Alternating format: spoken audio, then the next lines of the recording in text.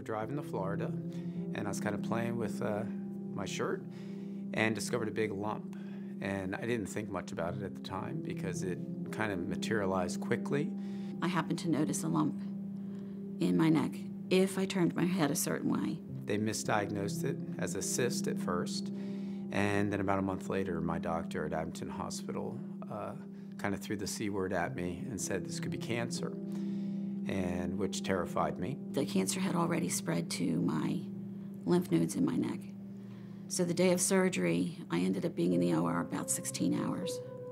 They actually uh, took the thyroid and then did a neck dissection on the left and the right.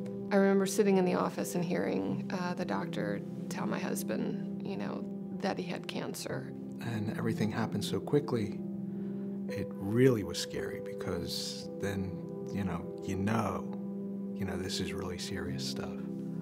He was the healthiest guy around and ate, you know, he ate fruits and vegetables every day, I mean, and worked out. And, and so it just seemed crazy that he would be the one to, to get sick. And then after the surgery, to see her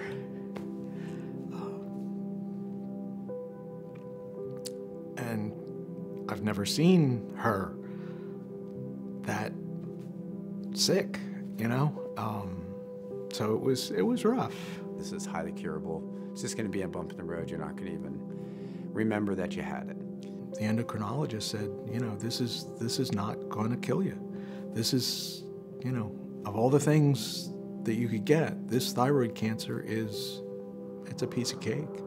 You know, you've you've got it licked. My numbers, you know, the hormone levels and things weren't changing the way the endocrinologist expected them to. Well, after the surgery, I found out it was a, uh, a one in a million type of cancer and incurable. My primary physician wanted me to come um, and get a second opinion. Dr. Marcia Brose is the director of the Thyroid Cancer Therapeutics Program at the University of Pennsylvania. She is also a global leader in the development of the new field of thyroid cancer oncology. Her phase 2 clinical trial of sorafenib in patients with advanced thyroid cancer led to the successful completion of the first ever phase 3 study in radioactive iodine refractory thyroid cancer. It's a very small group. One of the mutations that I had been studying turned out to be very, very prevalent in this group of patients. And at the same time, we were also starting to pull together therapies for these types of tumors.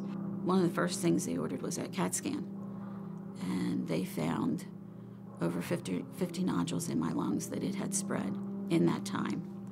Now, they were really, really small, but they were there, and that's, that explained why the numbers weren't going in the direction that they expected.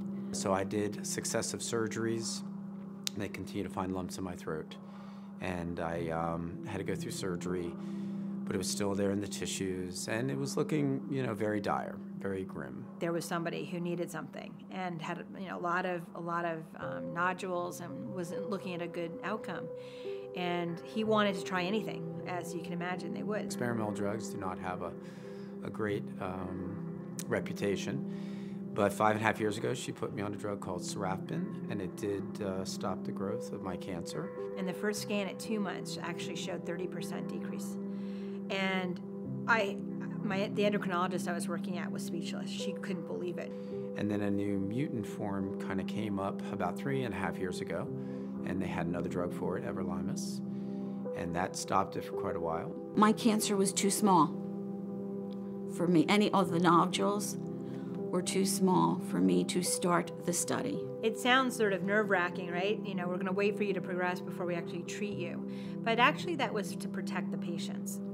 So um, every six months, I had CAT scans, waiting for the cancer to get big enough so that I could start trial. If the therapy has a toxicity, and the, the risk and the toxicity outweighs the benefit, as a physician, you don't want to give it. Because you're torn between wanting to take care of this and not really wanting it to grow.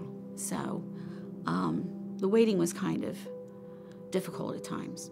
So many of these patients sometimes can have an indolent phase. It can be, for some people, it can be, you know, one month, some people it's six months. I have a couple of patients who I haven't started treating yet, and it's been five, five years.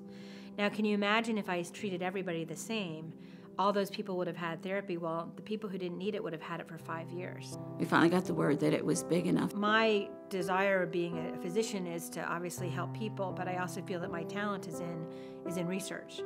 And so I couldn't imagine just going to clinic and just doing what was always told to me to do. I always wanted to be making it better. It was sort of a compulsion or, you know, occupational hazard, as you you know, if you will. But whatever it was, I that was going to be my bent. So it's been nine years total, uh, which is much longer than I should have had, considering the type of cancer I had.